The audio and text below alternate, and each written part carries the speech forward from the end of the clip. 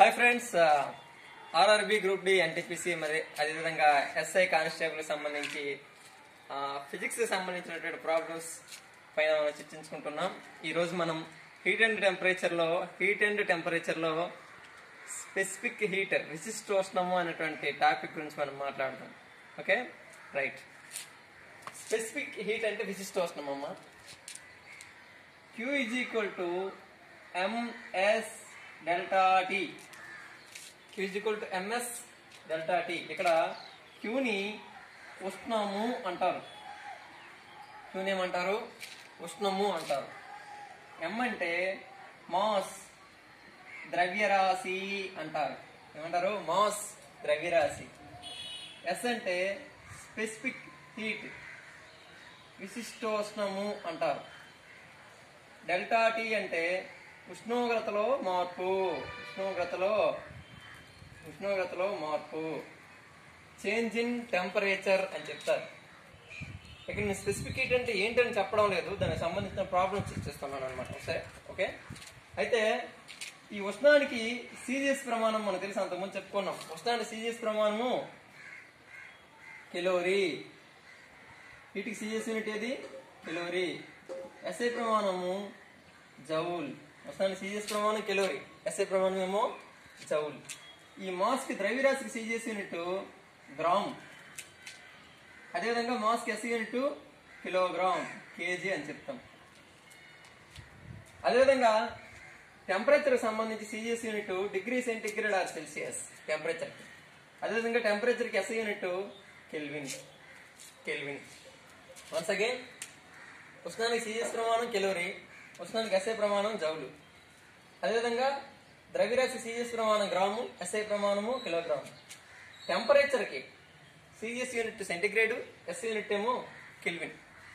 అయితే దీని నుండి మనము క్యూ అంటే ఉష్ణం అని చెప్పాము ఎం అంటే మాస్ అని చెప్పాము ఎస్ అంటే స్పెసిఫిక్ హీట్ అని చెప్పాము డెల్టా టీ అంటే ఉష్ణోగ్రతల మార్పు అని చెప్పాము నవ్వు S is equal to specific heat is equal to ఏమవుతుంది? ఎస్ ఈజ్ ఈక్వల్ టు ఈ ఎం డెల్టా టీ అనేది ఇక్కడ మల్టిప్లై చేస్తుంది కాబట్టి ఎస్ చేత వచ్చేసరికి డివిజన్ చేస్తుంది. సో అప్పుడు Q by M delta T అవుతుంది. Q by M delta T so specific heat is equal to Q by M delta T Q అంటే ఉష్ణము ఎం అంటే ద్రవ్యరాశి డెల్టా టీ అంటే టెంపరేచర్ ఇప్పుడు ఈ స్పెసిఫిక్ హీట్కి మనం సీజియస్ యూనిట్స్ రాసుకుందాం. స్పెసిఫిక్ హీట్కి సీజియస్ యూనిట్ రాసుకుంటే క్యూ అంటే ఉష్ణం కదా. ఉష్ణానికి సీజియస్ యూనిట్ ఏంటి?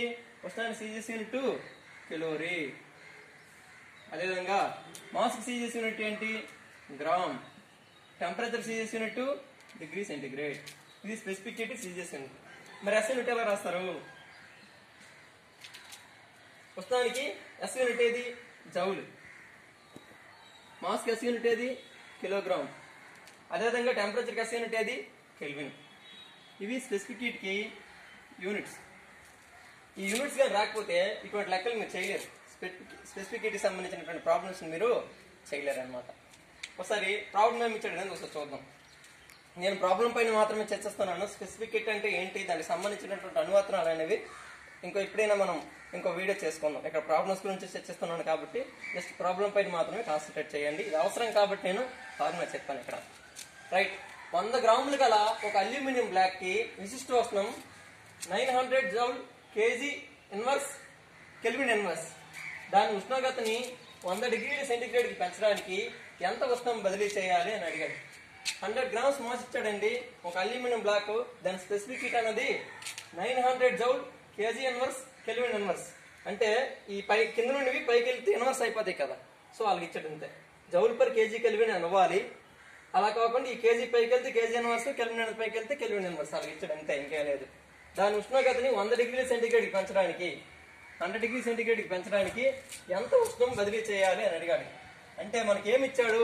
Given given mass is equal to mass అంటే ద్రవ్యరాశి అనేది ఎంత ఇచ్చాడు?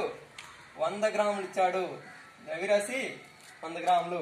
అదేవిధంగా specific heat విశిష్టోష్ణం S is equal to nine hundred joule per KG Kelvin okay అదేవిధంగా టెంపరేచర్ ఎంత ఇచ్చాడు? డెల్టా అంటే ఉష్ణోగ్రతలో మార్పు అనేది వంద డిగ్రీ సెంటిగ్రేడ్ ఇచ్చాడు.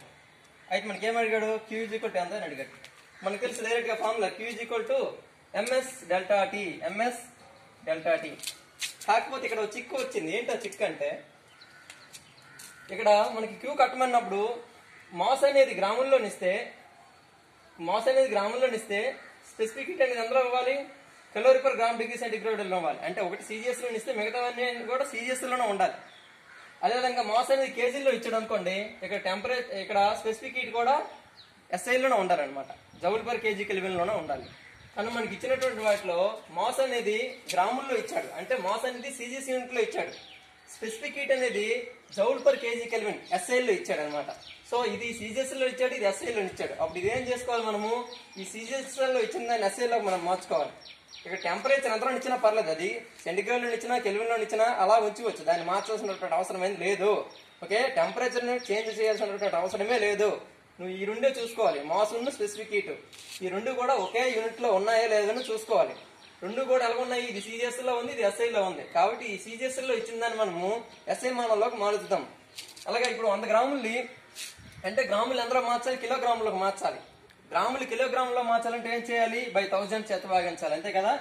So hundred gram by thousand. Hundred gram by thousand అంటే అప్పుడు ఏమవుతుంది? Zero point zero point one kilogram. Zero point one kilogram. అంటే మనకు కావాల్సిన మాస్ కేజీల్లో అంటే ఎస్ఐలో సంపాదించాం. స్పెసిఫికేట్ హీట్ ఎస్ఐలో ఉంది. ఇప్పుడు మనం డైరెక్ట్గా apply చేసేవచ్చు valuation Q is equal to MS delta T అన్నాం కాబట్టి మాస్ వాల్యూ అనేది ఎంత?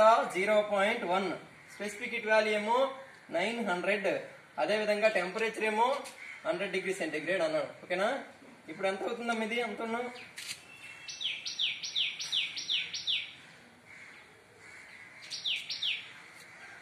right ninety into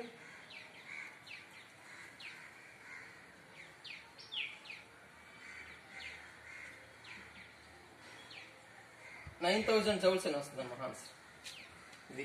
thank you